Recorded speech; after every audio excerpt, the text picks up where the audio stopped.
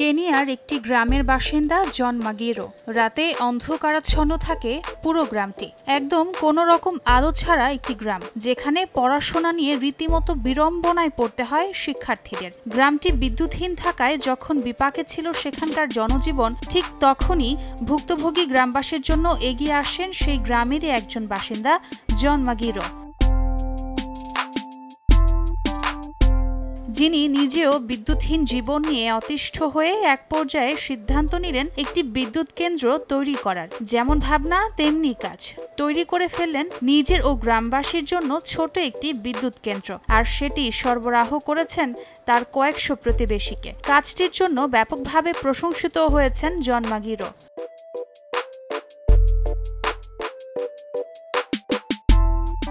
একুশ বছর বয়সী জন মাগিরো ফেলে দেয়া লোহা লক্কর ও পুরনো সাইকেলের যন্ত্রাংশ নিয়ে পরীক্ষা নিরীক্ষা করে চেষ্টা চালিয়েছিলেন বিদ্যুৎ উৎপাদন করার। জনের ভাষ্যমতে তিনি সাইকেল ডায়নামো ব্যবহার করে গ্রামের অন্ধকার দূর করার চেষ্টা করেছিলেন। প্রথমে ডায়নামো শূন্য দশমিক পাঁচ ওয়াট বিদ্যুৎ উৎপাদন হতো, যা যথেষ্ট ছিল না।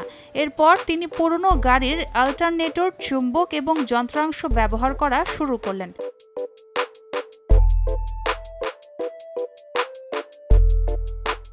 জন জেনারেটর চালানোর জন্য ব্যবহার করতেন নদীর পানি। ক্রমশ তার এই বিদ্যুৎ নেটওয়ার্ক বড় হচ্ছে। জানা গেছে, বর্তমানে সেখানকার আরও সাতশো পঞ্চাশ জনের জন্য পর্যাপ্ত হারে বিদ্যুৎ উৎপাদিত হচ্ছে। যে গ্রামটিতে কখনো কেউ রাতে আলোর দেখা পায়নি, আগে যেখানে আলোর জন্য কেরোসিনের কুপি ব্যবহার করত সবাই, সেখানে এখন বিদ্যুতের আলো দেখছেন গ্রামবাসী। মাত্র একুশ বছরের জনের এই অভূতপূর্ব উদ্ভাবন গ্রামবাসীর জীবন আলোকিত তো করেছে করেই একই সাথে চমকে দিয়েছে গোটা বিশ্বকে।